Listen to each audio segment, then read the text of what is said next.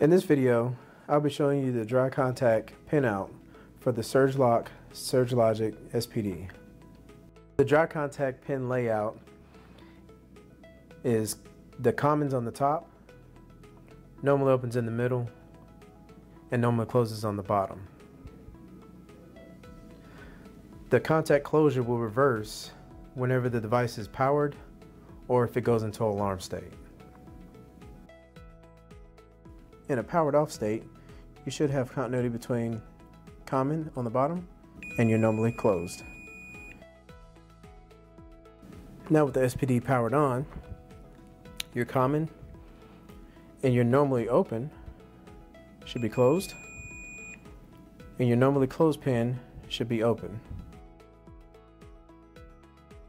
Pressing the test button, you can also test your alarm state closure. So with it being in your normally closed position in common, pressing the test button on the SPD, the contacts change state. This concludes the pin layout and continuity test for the SurgeLogic Surgeloc SPD.